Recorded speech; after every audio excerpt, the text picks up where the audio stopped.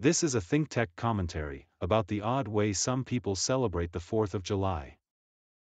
Thanks for your consideration of the views expressed in this commentary. Happy 4th of July to all of us, and especially the MAGAs. They claim to be patriots, but in fact they are just the opposite. They wrap themselves in the flag, hoping we will think that they are patriotic. But they are not patriotic at all.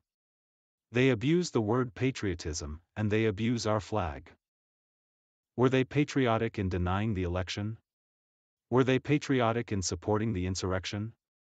Were they patriotic in calling for the reversal of our rights and protections? This is the flag that came out of the revolution. The flag that won the Civil War as well as World War I and World War II. This is the flag for which so many Americans have fought and died to protect us.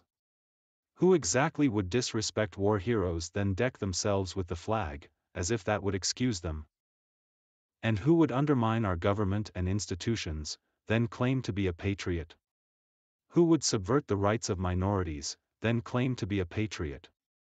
Who would sabotage our right to vote and to equal protection, education and opportunity, then claim to be a patriot? To abuse the flag this way is shameless, and we should see through it, especially on July 4th. In fact, and we all know it, the flag and patriotism has lost all meaning for the MAGAs. Thanks to them, the country is profoundly divided, and in open decline. It's time for them to look sincerely into their hearts, stop deceiving themselves, and become patriots again. To them, we say please remember the 4th while we still have a country. If they don't, what we have now may not last very much longer. Now, on the 4th, it's time for all of us, especially the MAGAs, to care about the country again. Please.